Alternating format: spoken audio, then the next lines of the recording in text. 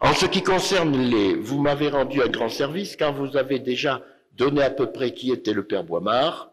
Je rajouterai, je voulais pas, je, voulais en dire deux mots sans m'y étendre puisque je voulais m'étendre surtout sur les questions euh, de sa biographie scientifique. Mais sa naissance, c'est 1916 et sa mort 2004. Le père est rentré chez les Dominicains en 1935. On demande toujours pourquoi il a pris ce nom de Marie-Émile et pas son nom de baptême étant Claude. Il l'a pris en souvenir d'un de ses oncles qui était le frère de son père, qui était militaire et qui était aumônier et qui est mort sur la bataille d'Italie en 18. Voilà, il a été ordonné prêtre en 43, je crois, à Chambéry, précisément, à Chambéry. Il a fini ses études au Solchoir parce qu'on l'avait déjà pressenti pour des études théologiques, mais il fallait faire euh, des études bibliques, mais il fallait faire tout de même euh, une licence ou un doctorat en théologie, et donc il va au Solchoir. Il arrive à Jérusalem en 45. Il y aura, comme a dit le père euh, Jean-Jacques, il y aura un petit arrêt pour Fribourg, et le père restera ici, euh, retour à Jérusalem en 53, et il enseigne durant 40 ans jusqu'en 93.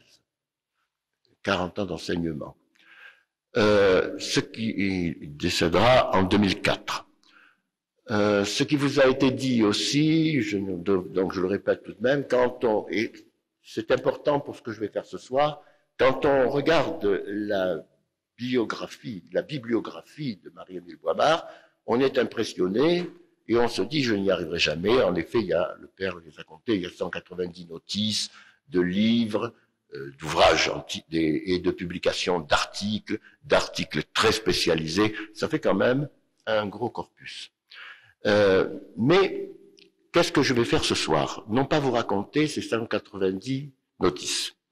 Le père Garouti m'avait demandé, m'a demandé de faire un ouvrage sur la biographie scientifique du père Boimard. Et je suis en train de rédiger ce travail. J'espère bien qu'à la fin de l'année, ce sera fini, c'est bien avancé. Mais une conférence n'est pas un cours. Et une conférence n'est pas non plus de vous raconter mon livre. Ce que je voudrais ce soir, c'est vous faire entrer, pour ceux qui ne l'ont pas déjà fait, pour les exégètes de métier, ils l'auront déjà fait, mais ceux qui ne l'ont pas déjà fait, vous faire entrer dans l'exégèse, dans l'esprit de Marie-Émile Boimard. Qu'est-ce que c'est que cette exégèse? Très souvent, on en parle, mais euh, quand on fréquente longuement les textes, comme pour beaucoup d'auteurs, eh bien, on voit que c'est beaucoup plus complexe en apparence et, très, et assez scientifique. Je vous montre quelques petites photos, là, c'est juste pour vous donner, là, avec le père de Vaux. Vous voyez, il est tout jeune. Le voilà, j'aime beaucoup cette photo. Et ma photo préférée est quand même celle-ci. Bien. Alors, pour commencer, pour commencer, je vais, d'une façon, je dirais, euh, pédagogique, voir comment on entre dans le système de Marie-Émile Boimard et pourquoi on, s'intéresse à cela? Et pourquoi on lit euh, la synopse et le commentaire de Jean et les travaux?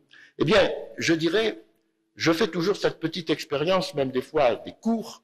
On dirait, voilà, apportez-moi un évangile de Saint Jean on va m'apporter certainement une version de la Bible de Jérusalem ou de la Tobe ou je ne sais quoi. Je dirais non, écoutez, je préférerais que vous me portiez une version grecque. Alors là, pour la version grecque, euh, on entre tout de suite dans des schémas complexes. Je vais vous montrer euh, deux exemples. Ben, L'édition Tischendorf, avec huit éditions. Et a Tischendorf fait huit éditions sur le Nouveau Testament, c'est qu'il y a des questions qui se posent. C'est ça que je voulais vous montrer. Et puis, on prendra aussi, euh, aujourd'hui, on prendra un essai Landin, comme vous savez. Mais c'est surtout Vescott et Hoth qui vont euh, s'attacher à un manuscrit. C'est toute une histoire, on va en parler, du Vaticanus, qui est le manuscrit, disons, entre guillemets, le plus sérieux. Alors je vous montre ceci. Pourquoi? Je vous montre ici une photo de, une scan de Nestlé Hollande. Vous avez en haut le texte que j'ai mis en vert, vous avez dessous un apparat critique. Je vous pose tout de suite la question, les exégètes le savent, bien sûr, mais tout le monde ne le sait pas. Qu'est-ce qui est réel là-dedans? Le texte qui est en vert est un texte construit. C'est un texte construit par des lois, des principes, d'exégèse, des, euh, des lois exégétiques, des principes, des différentes. Et dessous, donc en haut, c'est construit. Ça n'existe nulle part. Et il faut bien le dire. Quand on dira que Marie-Émile Boimard a créé des documents qui n'existent nulle part. Ce document n'existe nulle part. En revanche, ce qui est dessous, l'apparat critique renvoie à des réalités, des manuscrits et des variantes. On peut aller consulter le manuscrit, il est réel. Donc vous ne pourrez pas m'apporter l'évangile de Saint Jean original comme croyez Westcott et Hoth. Je vous montre ici l'édition de Tischendorf, ça fait encore plus peur. Ici reprend à huit fois. Vous, vous voyez qu'en haut, en vert, le texte construit par Tischendorf, qui à la fin de sa vie fait plus confiance au Sinaticus, et puis tout un apparat de notes qui, eux, elles, sont réelles. Donc voilà, c'était vous montrer la différence du réel et du virtuel. Quelle est, si nous continuons notre recherche, vous me direz, oui, mais moi je voudrais quand même avoir entre les mains quelque chose de réel. Alors je vous dirais, ce qu'il y a de plus sérieux, c'est le Vaticanus. Mais en vous parlant de manuscrits, il y en a d'autres. Il y a le Vaticanus, il y a le Sinaticus, il y a l'Alexandrinus, et bien d'autres plus toutes les minuscules de von Soden, etc., etc. Qu'est-ce que vous allez choisir? Eh bien, vous allez choisir, vous allez être forcé d'entrer dans un travail d'exégèse. C'est-à-dire, il va vous falloir, bien sûr, c'est un texte très sérieux, mais, ça va être la première rentrée dans le Guamar, ce codex, qui est le plus beau, le plus sérieux, il est du quatrième siècle. Et entre l'Église primitive et le quatrième siècle, il y a de la place. Voilà, c'est ça la grande question. Il y a de la place. Donc, euh, les éditions Nestlé à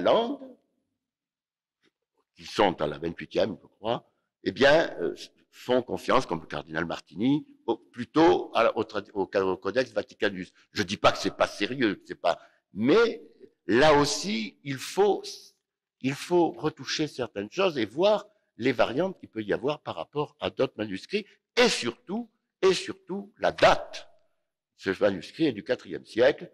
Il est très certainement, une hypothèse, hein, mais il fait partie très certainement de la collection que l'empereur Constantin avait demandé à Eusèbe de composer 50 Bibles et donc peut-être aussi le Sinaticus. Certains pensent que oui, certains pensent que non.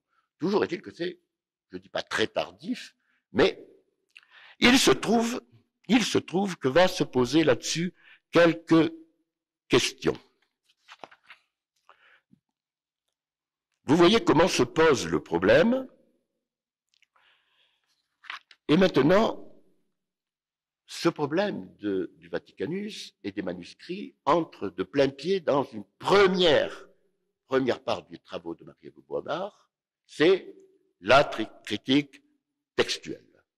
Critique textuelle, critique interne. Donc on va s'arrêter d'abord. Comment procède-t-il pour la critique textuelle?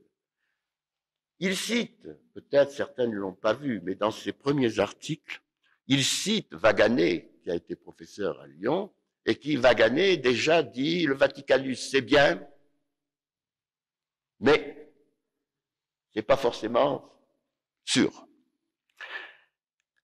Alors, qu'est-ce que fait Boimard? C'est ici que commence, je dis, la première grande question de l'exégèse de Marie-Émile Boimard. Qu'en est-il du, Codex Vaticanus? Peut-on penser, comme Vescott et Hoth le croyaient naïvement, que sur sa base, on pourrait reconstituer le texte original du Nouveau Testament. C'est en 1950 que Boimard décrit son approche de la question dans un article paru dans la revue biblique qui tracera la ligne exégétique de toute sa carrière, du début à la fin. Cet article fondamental s'intitule Critique textuelle et citations patristiques. L'article part d'une constatation qui sera l'objet d'une recherche serrée et constituera la base de sa méthode de travail. Voilà. Eh bien, on le dit en deux mots, le père aligne dans cet article une vingtaine de citations de pères sur Jean 17.5 et puis d'autres, hein, il y a d'autres citations. Et elles ne sont pas pareilles que le Vaticanus. Et elles sont très souvent pareilles entre elles. Plus un témoignage très fort chez Saint Jérôme. Saint Jérôme dit qu'on a mal traduit à un certain endroit, fait la citation en grec, et donc, comme dit Boimard, si Saint Jérôme s'applique à parler de mauvaise traduction et à citer le grec, et il cite le grec, et ce n'est pas le Vaticanus. Donc nous sommes amenés à penser, comme il le pensait, que il y aurait un archétype plus haut et que vous voyez ce que je vous montre ici. Où c'est bon l'appareil pour. Euh... Ah, je cherche à vous, c'est là. Vous voyez? Les exégètes font ça. Voilà. Mais on va se rendre compte que ça n'est pas égal à ça. Ça est différent. Est différent, mais égal à ça. Et on voit qu'il y a une tradition patristique qui va remonter certainement à un archétype plus haut, et certainement qu'il y a au-dessus un archétype dont viendrait et le Vaticanus et la tradition patristique. Et le Vaticanus va constituer véritablement ce qu'on peut appeler un rasoir d'Occam, car il sera difficile de remonter plus haut. Et je, je cite Boimard, la plupart des auteurs qui se sont occupés de critiques textuelles ont été déroutés par le caractère insolite des citations bibliques que l'on trouve dans les pères. Celles-ci, en effet, s'écartent aussi assez souvent du texte des manuscrits et l'on en conclut que les pères citaient de mémoire. Je pourrais vous raconter mille histoires que c'est pas vrai. D'où une défense à l'égard de leurs témoignages, une, défiance. Il est étonnant de constater combien peu de pères citent exactement le texte des manuscrits. Ici encore, on peut donc affirmer que l'ensemble des pères citent 17, Jean 17.5 d'après un texte presque entièrement inconnu des manuscrits grecs, latin et syriaque. Et que ça, c'est une citation de Boimard et que seul la saïdique, et voilà, il y en a un qui suit, seul la saïdique et la version éthiopienne nous ont à peu près fidèlement conservés. Guamard conclut, alors, à côté de la tradition manuscrite, il existe comme une autre tradition, celle des pères, presque entièrement différente de la première. À partir de sa conclusion, Boimard établit un véritable rasoir d'Occam, coupure, un véritable rasoir d'Occam entre le texte que nous recevons et les textes qui sont au-dessus et qui nous parviennent dans des brides, des paires, de papyri. Voilà pour un premier point. Deuxième point, aussi, qui est très à la mode aujourd'hui, les témoins de son temps, c'était la position sur les évangiles apocryphes. Il était dit, il était, quand je faisais moi-même des études, les apocryphes, ben, c'était des gloses de mauvais goût du Nouveau Testament. Il se trouve que Boimard va, va travailler sur le protévangile de Jacques, l'évangile de Thomas, les actes de Pilate, l'évangile de Pierre, surtout. L'évangile des Hébreux, l'évangile des Égyptiens, et bien, et d'autres. Et maintenant, on a pu mettre à euh, découvrir, en particulier, je vous renverrai à Marguerat, le mystère apocryphe, introduction à une littérature, une littérature méconnue, mais aussi à Gilles Dorival. En fait, on trouve, les apocryphes ne, se reflètent pas exactement le manuscrit, mais vous voyez ce qui se passe. C'est toujours pareil. Il y a un manuscrit, là, c'est les récits de la Passion, et bien, il y a un manuscrit, une tradition qui influence les canoniques et qui influence les apocryphes. Alors après, après, les apocryphes ont suivi massivement, glosé, tout ce que vous voulez. Mais il y a des traditions plus hautes qui sont rentrées et on peut aussi le prouver. Maintenant, il y a beaucoup d'articles actuellement, c'est beaucoup plus développé. Boimard écrivait alors, le but de cette étude, voilà, je vous l'ai mis en haut, n'était d'ailleurs pas de reconstituer dans le détail telle ou telle forme du texte, mais de montrer que grâce au témoignage des évangiles non canoniques, il est possible d'atteindre une forme de texte souvent plus ancienne que celle transmise par la tradition synoptique. Voilà pour la critique textuelle. On pourrait dire bien d'autres choses, mais euh, je vous dis, j'essaye surtout de vous faire entrer là-dedans. Je passe au principe de la critique interne. Un premier point important, alors qui fait hurler, mais je, je développerai plus tard, c'est les caractéristiques stylistiques. Les caractéristiques stylistiques, nous allons maintenant poser une autre question qui nous conduira à un point tout aussi important de l'exégèse de Boimard. Nous sommes dans l'évangile de Jean. Voilà. 20-30, 20-31. Vous connaissez le problème. Nous sommes dans l'évangile de Jean et nous allons au dernier chapitre, chapitre 21. Une question surgit.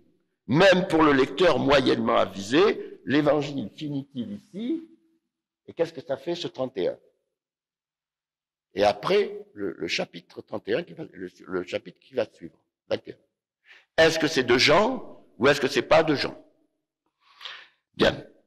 Nous sommes, euh, une question surgit, même pour le lecteur moyennement avisé, ce chapitre 21 de Saint Jean est-il bien du même auteur que celui du chapitre 20 Ça, c'est la critique interne qui va le trancher. Boimard montre que bien avant lui, on a essayé, euh, Lagrange pensait que tout était de Jean. Et d'autres, mais c'est pas parce que Lagrange l'a pensé que c'est forcément juste. Il pensait que tout était de Jean. D'autres pensé que tout était de Jean et d'autres pensé que non. Mais l'argumentation était souvent de trouver un lien logique entre 20 et 21. Et Boimard dit, euh, qui, chaque écrivain possède son propre style, utilise certains mots plus volontiers que d'autres. Il devrait donc, alors je vous ai mis ça, pour que vous voyez bien, il devrait donc être possible. La pensée aussi du Père Boimard n'est pas une pensée dogmatique. C'est toujours une pensée excessivement nuancée. Il ne dirait pas, il doit donc être possible. Il est donc possible. Il devrait donc être possible. C'est une possibilité de recherche. Il devait donc être possible d'utiliser les particularités de vocabulaire et de style pour distinguer les divers mains qui sont intervenus dans la rédaction d'un écrit. En fait, l'argument des critères stylistiques doit être manié, dit-il, avec beaucoup de précaution.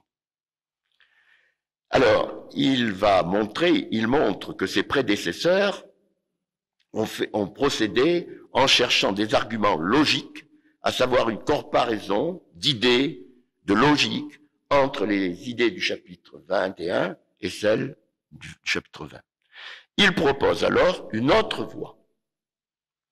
Il nous a semblé cependant qu'une étude littéraire du dernier chapitre de l'évangile de Saint Jean pourrait éclairer quelque peu le problème de son origine. L'auteur va procéder dans un premier temps à la comparaison du vocabulaire, du style de la pensée entre l'un et l'autre chapitre. Et il Boimard sélectionnera 28 mots inusités dans le reste de l'évangile. Il constate qu'en l'espace de dix versets seulement, 3 à 12, se présentent six expressions tout à fait différentes, tout à fait même contraires à la nature de l'évangile de Jean. La conclusion ouvre le chemin de développement postérieur qui dureront toute la carrière de Boimard. Le chapitre 21 de l'évangile de Jean n'a pas été écrit par Jean lui-même, mais par un rédacteur anonyme, certainement disciple de Jean, qui s'est inspiré des propres idées du style joannique, mais il va aller plus loin, il faut le lire jusqu'au bout. L'identité de cet auteur demeure mystérieuse, et là, il aborde dès le début ce qui développera beaucoup plus à la fin de son œuvre. Il dit, malgré certains rapprochements curieux entre son style et celui de Luc. Avec la grande idée de Père Boimard, c'était que Luc avait tout clôturé. Maintenant, on a vu les caractéristiques stylistiques, on rentre dans un autre aspect, toujours de la critique littéraire, c'est, voilà comment ça marche, les doublés littéraires, parce que on va dire tous ces documents qu'on sort, il y en a un, deux, trois, quatre, comment les sort-il Il les sort à partir d'une analyse. Et cette analyse est fondée sur deux principes que vous allez trouver toute l'exégèse de Boimard. C'est ce qu'on appelle la cheville rédactionnelle et ce qu'on appelle, en allemand, Wiederaufnahme, et le doublé. Alors, c'est comme ça qu'il va procéder au découpement, à l'éclatement, je dis, du corpus. C'est-à-dire que le corpus va éclater à partir des analyses par les doublés et les chevilles rédactionnelles. Les chevilles rédactionnelles, euh, bon, vous l'avez vu en allemand, lorsqu'un auteur insère un passage plus ou moins long dans un texte antérieur, il est souvent obligé de reprendre, après l'insertion que l'on vient d'effectuer, des expressions du texte primitif qui se lisent avant le passage. Eh bien, la cheville rédactionnelle, et il était, et il était. Et le doublé, le doublé, c'est une chose qui est dite deux fois. Quant au doublé, répétition d'un ou plusieurs mots, il en distingue deux catégories, ce qui va rendre très difficile la synopse, je le reconnais, des doublés de fusion, donc il y a un doublé, mais l'auteur a fusionné, ou il y a un doublé et l'auteur a mis deux textes parallèles. Donc, doublé et cheville rédactionnelle. Enfin, je suis obligé, vous voyez, d'aller vite. Donc vous voyez qu'ici, qu'est-ce qui se passe? Euh, Pensez à l'éclatement du corpus. Ici, ce morceau, et il était dans le ZR 40 tours tenté par Satan, qui arrive de Luc, comme pour Luc, eh bien ce morceau, il saute.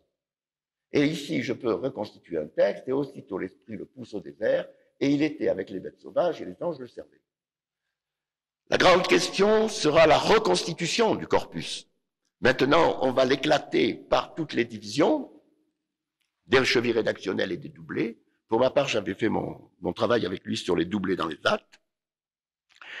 Et troisièmement, je veux sur les critiques, la critique euh, interne, parler d'un point où Boimard a été quand même là un génie, et les personnes même qui n'aiment pas Boimard m'ont toujours dit là-dedans, il est génial, c'est la forme Geschichte, l'histoire des formes, le, Saint-Jean de Boimard.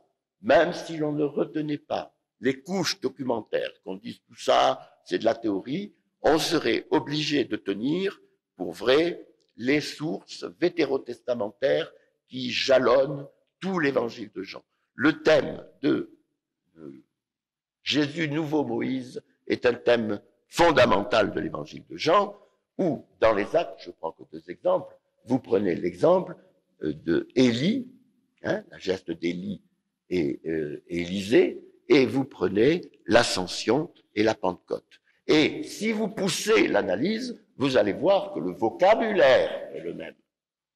Donc il y a une influence des formes littéraires. Voilà. Hein.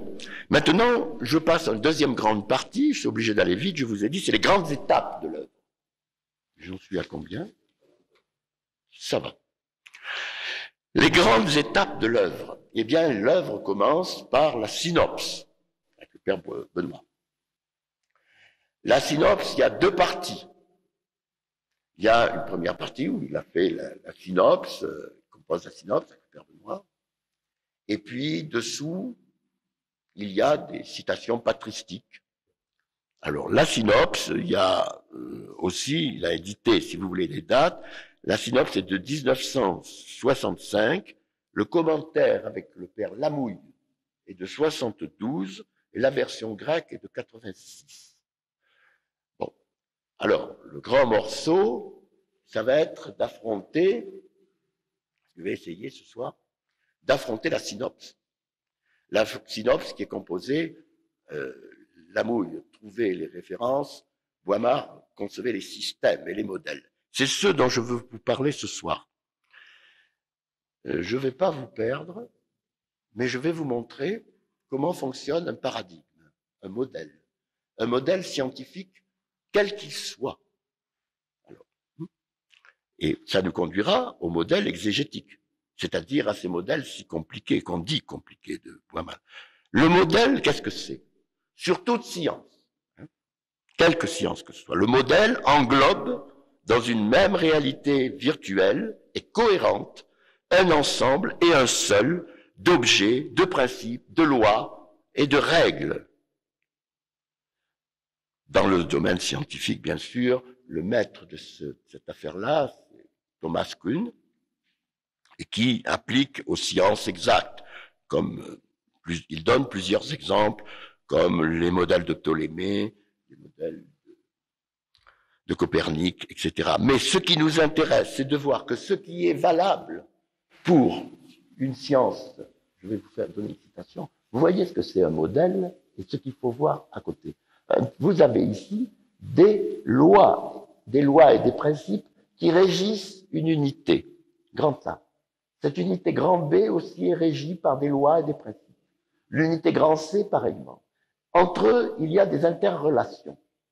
Mais voilà que ici, il y en a un qui n'est pas expliqué. Il est extérieur au modèle.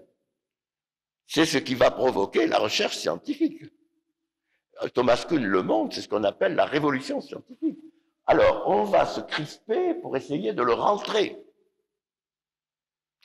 Si on ne le rentre pas, eh bien, il faut un autre modèle. Voilà. Euh, donc les deux, ouvrages clés de Thomas Kuhn hein, sont La Révolution copernicienne en 57 et Les structures des révolutions scientifiques en 62. Vous avez le deuxième, pas le premier. Euh, voilà. Alors, je vais citer, je vais citer un épistémologue actuel qui est Franck Varenne, qui, est à Rouen et qui est au CNRS pour la section philosophie et, sciences et, et des techniques. Il écrit, euh, il a écrit théorie, réalité et modèle. J'aime beaucoup ça parce que vous voyez, théorie, réalité et modèle. Il y a le problème du réel. Et les simulations dans les systèmes de technique. Alors, il écrit, euh, le monde actuel des modèles et des simulations dans les sciences et techniques présente une si grande diversité qu'il devrait devient extrêmement difficile de les concevoir dans un cadre épistémologique unique. C'est bien dans la variété des pratiques, comme la variété des méthodologies et des épistémologies, qui semble, qui semble la règle. C'est donc, sans doute, un défi quasi impossible à relever que de chercher à élaborer une seule et unique épistémologie des modèles.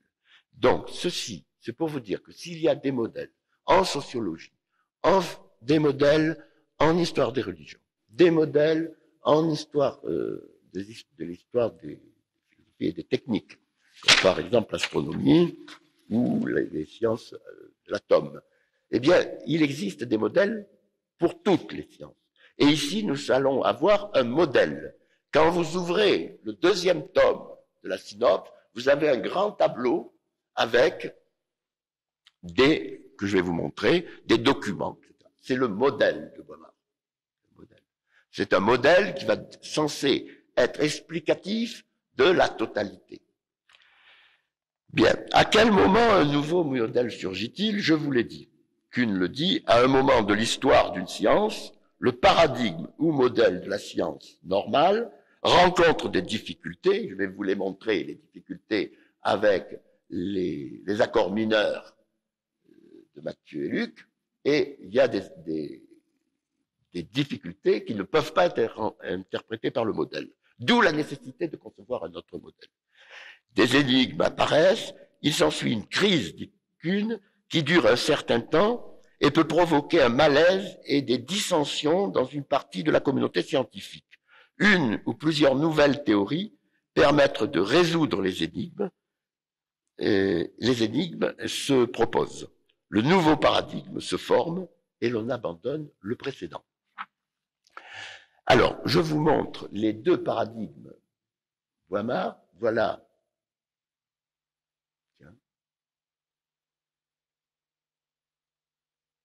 Voilà. Ici, vous avez le modèle des deux évangiles.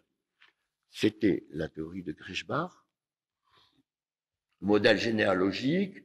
Donc, c'est assez simple. Hein, vous voyez Matthieu, Matthieu, Marc, Matthieu, Luc, Marc, tout ça, ça marche ensemble. Et grande particularité par rapport au modèle de Boimard, on travaille sur les évangiles tels qu'ils sont, pas tels qu'ils vont devenir, pas tels qu'ils sont dans, en devenir, tels qu'ils sont.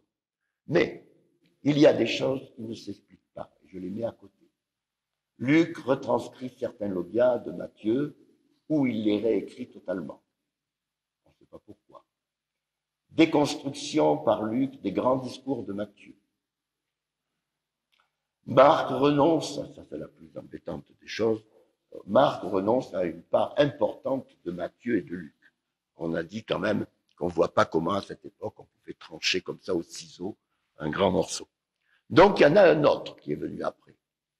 Et l'autre, c'est le modèle des deux sources. Donc dans les deux sources, Matthieu et Luc prennent à Marc,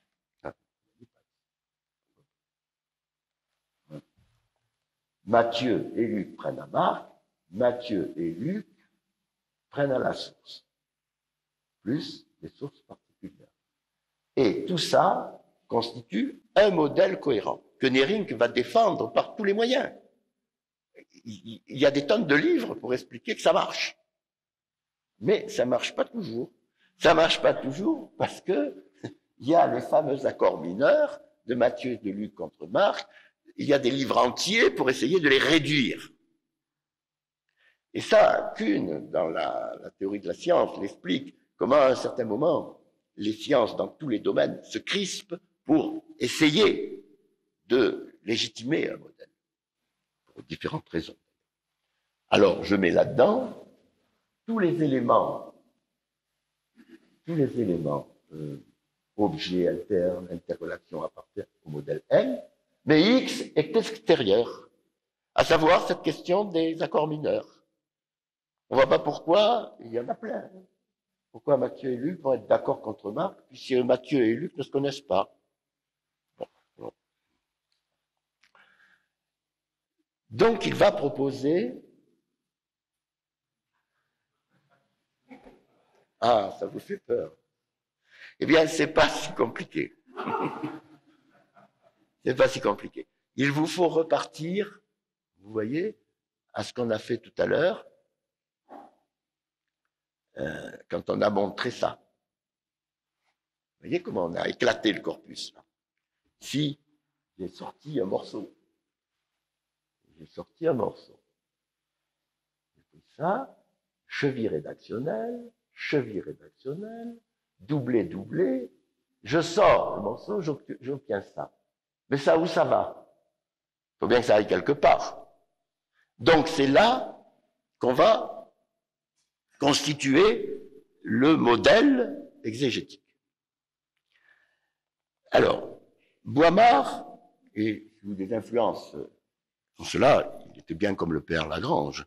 Il, a, est un exégète qui connaît très bien l'allemand et qui a, et qui connaît très bien, dans la synopse, il ne cite pas les auteurs allemands. Il ne les cite pas, je me demande pourquoi. Mais dans l'évangile de Jean, il les cite massivement.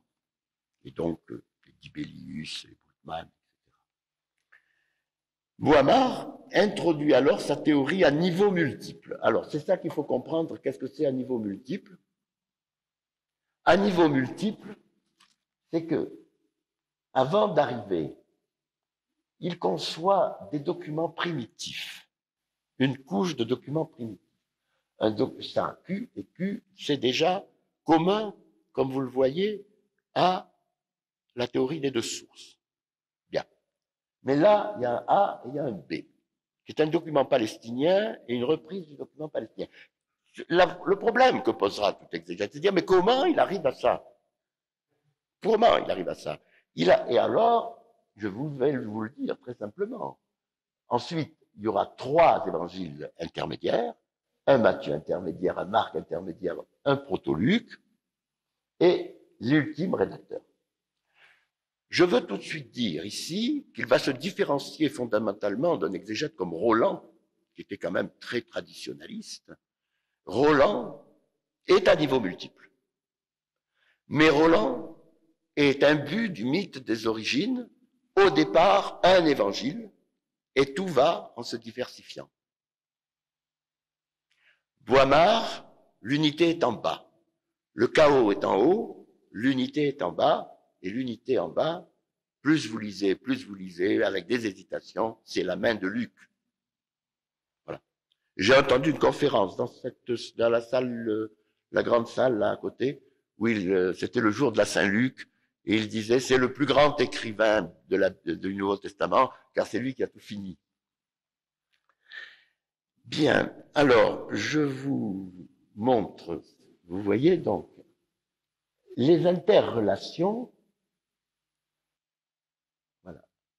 Comment on les explique? Quand on lit, il faut lire, bien sûr, dans la synopse, les relations. Comment il explique les péricopes Comment il explique les péricopes? Il va d'abord provoquer l'éclatement, comme je vous ai dit, l'éclatement du corpus. Ensuite, il faut le ramener à l'unité. Il est quand même faible parce que certains, je ne sais pas s'il est là, le père, certains trouvent que c'est trop simple. Mais mais il ramène à l'unité comment? Eh bien, par les caractéristiques stylistiques. Il va dire ce vocabulaire-là, et ce vocabulaire-là, et ces tournures-là, et ces tournures-là sont de la même famille. Donc, je vais les regrouper dans un ensemble grand A, et les autres dans un ensemble grand B. La particularité du niveau multiple, c'est que ici, L'évangile n'est pas fini, que ce soit les deux sources ou que ce soit ou que ce soit les trois évangiles, les deux évangiles, pardon, ils travaillent sur un évangile fini, sur le texte que nous avons. Ici, c'est un Matthieu intermédiaire, et ici un ultime rédacteur qui finit. il y a des interrelations. On lui a dit c'est compliqué. Je vous citerai la citation de Brown. Bien sûr qu'on dit que c'est compliqué, mais il a vite fait de répondre, c'est compliqué, mais personne ne vous a dit que c'était facile, que la composition des évangiles était facile. Bon, euh, je voudrais encore, maintenant, deuxième grande partie de l'œuvre. Vous voyez que je suis obligé d'aller un peu vite. Euh, oui, faut quand même, pour les deux sources, vous avez compris. Euh, la deuxième grande partie peut-être la plus belle partie de l'œuvre, c'est Saint Jean. C'est une œuvre superbe, superbe, superbe. Vous voyez Donc il distingue.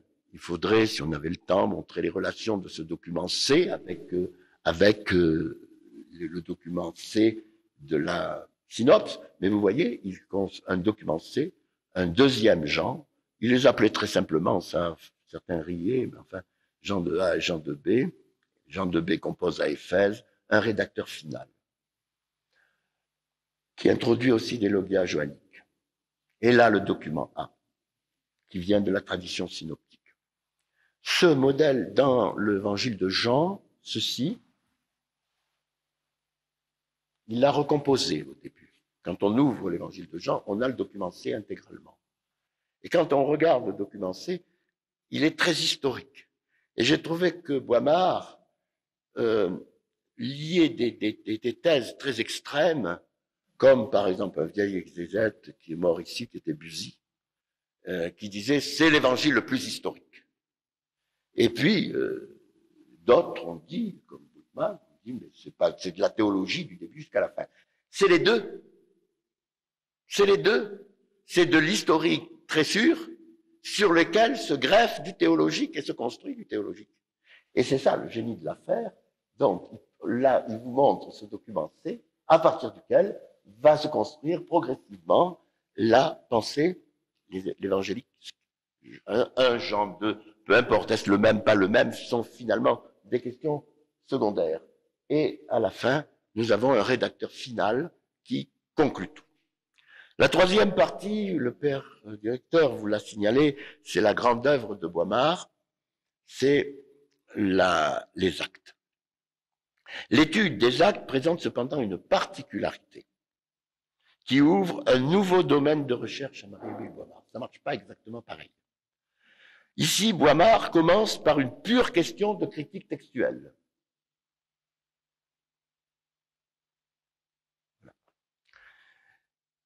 Connu dans l'histoire de l'exégèse du Nouveau Testament, c'est une question connue. Qu'en est-il du texte des actes des apôtres donnés par la tradition occidentale? Ça traîne depuis toujours. On connaît ce problème.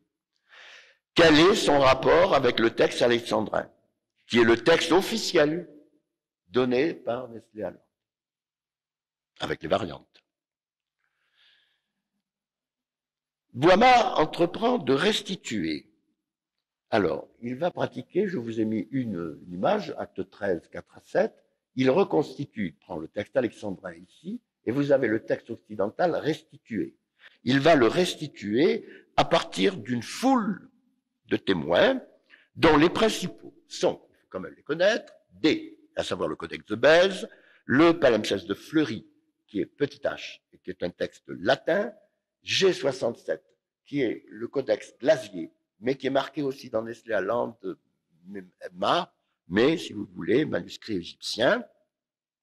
Mais vous avez des versions coptes, vous avez des versions syriaques, vous avez des versions éthiopiennes, et bien sûr les citations patristiques. Je voudrais dire au sujet des citations éthiopiennes dont on a, sur laquelle on a plaisanté.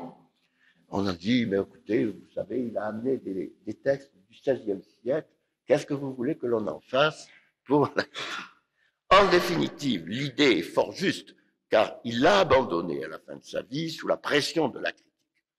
Mais l'idée est juste que des petites traditions, comme l'Éthiopie, aient pu conserver des textes qui ont échappé aux grandes recensions et qui ont conservé les variantes.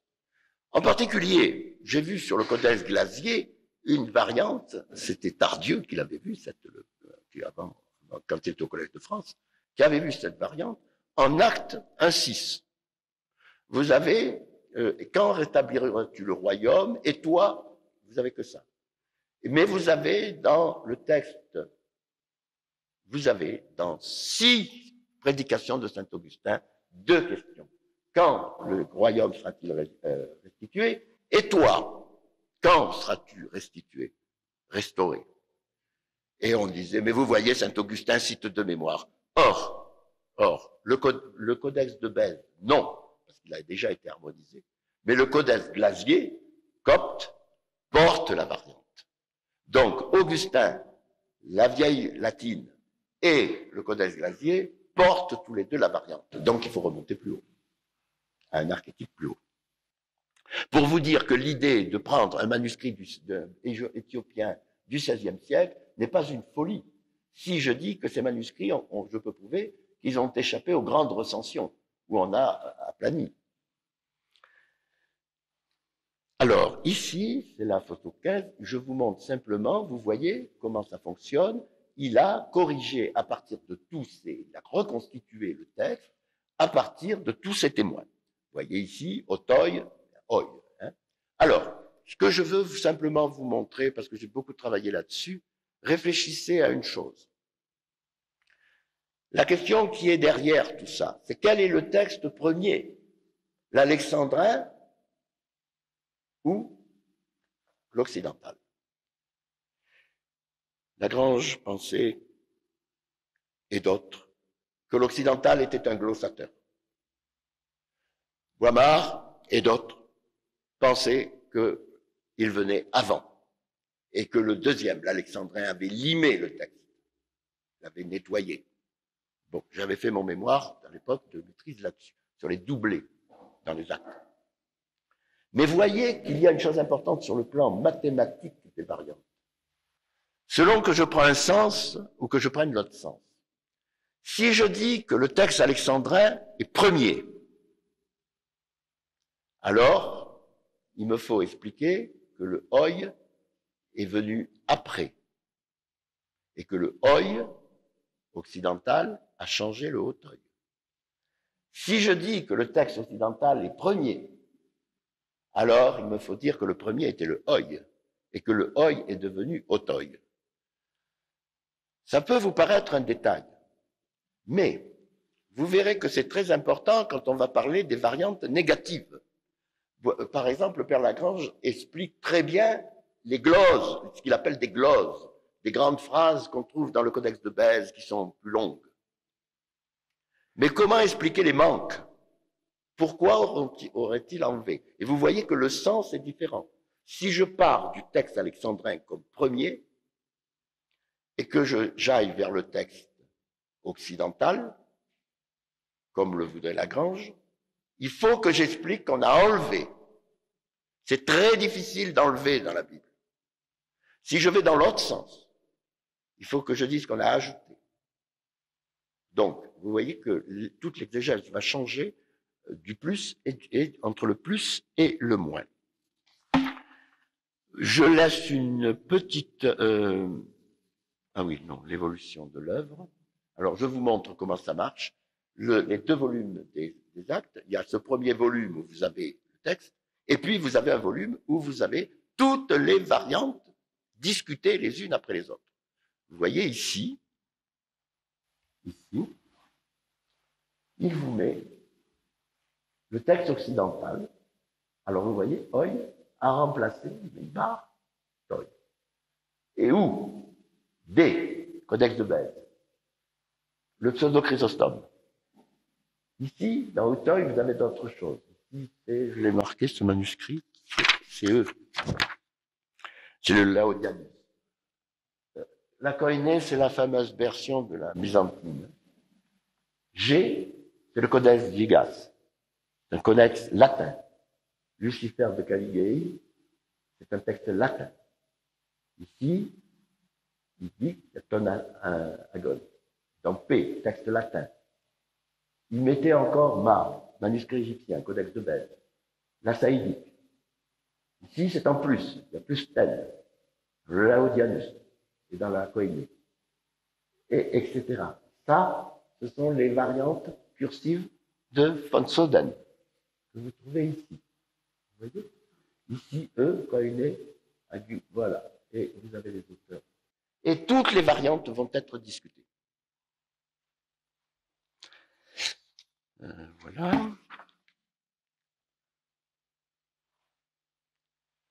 Ayant créé la théorie le modèle, le, pas le modèle ayant défini par la critique textuelle que le texte alexandrin était second, que le texte occidental était premier, et que le texte, le codex, le codex, le codex D ne représente pas toute la tradition occidentale. J'avais fait aussi un mémoire là-dessus. Il a été harmonisé, mais enfin, disons, c'est la tradition occidentale. Boimard construit alors un modèle comme il a construit un modèle pour Saint-Jean, comme il a construit un modèle pour la synopse. Ici, vous avez un document J. Hein, c'est le document joannite, des joannites d'Éphèse. C'est une vieille théorie, moi, que j'avais adoptée pour ma thèse, qu'il y aurait des documents du, Baptiste qui auraient été christianisés. le document P, c'est le document euh, Pierre, et le journal de voyage. Donc, un premier acte 1, mais là, il y a quelque chose de tout à fait différent par rapport au reste, c'est que ici, nous ne sommes plus devant un document virtuel, mais nous sommes devant un document qu'il a restitué au préalable, puisqu'il a restitué dans l'édition le restitué le texte occidental. Donc, acte 2 constitue le texte occidental, acte 3, c'est le texte occidental limé, en quelque sorte. Le cardinal Martini, qui a étudié, dit qu'il n'y a pas de, moi je crois cela, hein, il n'y a pas de différence dogmatique entre les deux, mais qu'il y a un limage stylistique. On a empêché des répétitions. Moi, j'ai travaillé sur les doublés, des choses qui étaient répétées trois fois, on les a simplifiées. on ne voit pas pourquoi ça serait venu après, pourquoi on se serait amusé à répéter trois fois. On va plutôt du complexe au simple. Alors. Ah, vous voyez, j'étais déjà Je vais bientôt conclure. Alors, je voudrais dire,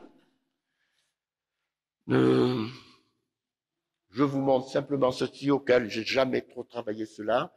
C'est un bouquin tardif. Hein, euh, quand est-ce qu'il écrit ça? Euh, En 99. Hein. Donc, à partir toujours des doublés qu'il trouve dans Colossiens, il établit une épître au Laodicéen. Je sais que Père Garuti était assez mordu pour cette affaire. Il m'avait dit, parce que j'avais dit ça, il m'a dit non, non, non, c'est important. Voilà. Mais je ne m'y étendrai pas parce que, enfin, c'est pareil. Le système, il voit des doublés et il sort un texte. Voilà. J'en ai fini et je voudrais terminer par trois questions à Boimard. Par trois questions. D'abord, je vais citer la critique du, du grand exégète Brown, Raymond Brown, qui donne une courte présentation du modèle de Boimard qu'il analyse au niveau de la synopse. Et relevons la conclusion de l'exégète américain. Il dit, ce type de théorie postule pratiquement une nouvelle source pour résoudre chaque difficulté. On ne peut prouver qu'elle est tort ou raison. Mais la plupart la trouvent trop complexe pour aider à l'étude courante des évangiles. En fait, c'est très empirique ce que dit Brown. Hein c'est très empirique. En fait, la majorité des spécialistes, dans un effort pour expliquer les différences et les similitudes des synoptiques, plutôt que de poser en principe des protévangiles disparus et des apocryphes primitifs, cherchent du côté de la relation entre les évangiles existants. C'est-à-dire vers des solutions de dépendance mutuelle que nous allons montrer du Brown. Je dis, ce texte est significatif, je l'ai analysé à un autre endroit, ce texte, mais je trouve que c'est une pensée très positiviste. Mais enfin, ce texte est significatif d'une forme de critique qui demanderait une réponse longue, ce n'est pas le lieu. On peut cependant constater, contester un des arguments déjà, renouvelé vis-à-vis de Boimard quand il écrit, et on l'a dit et redit, on ne peut prouver qu'il est tort ou raison. Le contraire est prouvé. Il est prouvé si vous lisez toute l'œuvre. Le contraire est prouvé par le travail acharné de Marie-Émile Boimard, qui remettra en question ses propres analyses de variantes jusqu'à la fin de sa vie. L'évangile de Marc, sa préhistoire en 94, enquête du protoluc en 97, et le texte occidental des actes des apôtres, édition nouvelle en 2000, il va tout reprendre. C'est l'édition que reprendra Patrick Fort, pratiquement. Eh bien, le père, là, va rediscuter. Et si c'était pas facile fiable, il dirait pas, je me suis trompé. Il dit non, là, on peut dire autrement. On pouvait analyser comme ça, mais on peut aussi analyser comme ça. Et c'est vrai que c'est une pensée qui m'est sympathique, c'est un peu aussi la pensée d'origine, ça. On peut dire comme ça, mais aussi on peut dire comme ça. Et sa pensée est toujours très souple. Il n'est pas interdit de penser que. Étant cela, je pense que c'est un vrai savant. Que c'est par rapport à dire c'est ainsi ou c'est ainsi. Voilà. Euh, deuxième point que j'ai dû prendre, la préférence donnée à des évangiles existants, comme, dit, comme il dit Brown, est peut-être plus facile, mais forcément pas forcément plus vrai. Comme je l'ai dit au début de cet exposé, qu'appelle-t-on des évangiles existants? J'estime qu'il s'agit d'une réalité toujours construite à partir d'un ensemble de variantes choisies, ordonnées par une théorie scientifique, ce qui permet par le fait même d'autres constructions qui restent toujours possibles. C'était ma première remarque. Ma deuxième question et remarque à Boimard, c'est l'intérêt de la question. Quelqu'un m'a dit une fois, je ne sais pas s'il est là, m'a dit, mais enfin, pourquoi vous vous intéressez à ça? Alors, je réponds, le travail de Marie-Émile Boimard tente de montrer la genèse des Écritures. Genèse des Écritures qui est le miroir de l'histoire de l'Église, puisque l'Église a construit et choisi son corpus. En disant cela, je tiens à m'inscrire contre toute position libérale qui tendrait à montrer ou à croire que le document le plus ancien est le plus vrai. Boimard met à jour un développement, un dévoilement de la vérité à travers les documents mis à jour par son exégèse.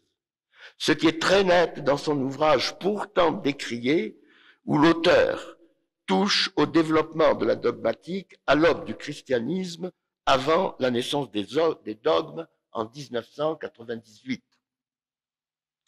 Son chapitre sur la divinité du Christ s'emboîte fort bien dans un développement du dogme en général, la notion de développement y est très nette. Un développement compris comme un dévoilement progressif au sein de l'écriture. Une prise de conscience ecclésiale se jouant au niveau de la croyance et non comme une évolution créatrice, comme un dévoilement et pas une évolution créatrice à la loisir. Voilà Bultmann. Troisième et dernière question, Comment dépasser Boimard Comment dépasser Boimard La grande question reste ici, les, à mes yeux, les caractéristiques stylistiques qui sont en décriées, qui permettent. Voilà. Et on aura fini. La grande question, c'est les caractéristiques stylistiques qui permettent de regrouper le corpus en documents divers. Sept documents pour la synopse, quatre pour Saint Jean, cinq pour les actes. Les études de Boimard sont pauvres sur ce plan-là. Le père m'a dit qu'il avait mis dix ans sur les actes. Moi, je parlais souvent de ces questions avec lui. Il a, avec la mouille, on faisait quoi? Des statistiques. Il y en a 19, il y en a 20, il y en a 10, il y en a 15, mais c'était pas de la grande statistique. On n'en était pas à des études de stylométrie comme on est arrivé aujourd'hui. Et je pense que c'est là qu'il faut dépasser Boimard en allant plus avant. Euh, les études de Boimard restent basées sur des statistiques très simples, de proportion. Telle forme est présente tant de fois chez Luc, tant de fois dans les actes. Il en tire des pourcentages. Mais la statistique, c'est pas que des pourcentages. Je pense qu'il faut aller vers la stylométrie et l'utilisation de l'informatique aux études de style. Et je fais une citation.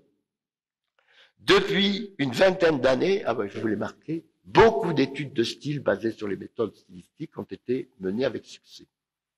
Les procédés statistiques appliqués au traitement des textes en langue naturelle, y compris en langue ancienne, contribuent à l'une des applications majeures des études stylométriques.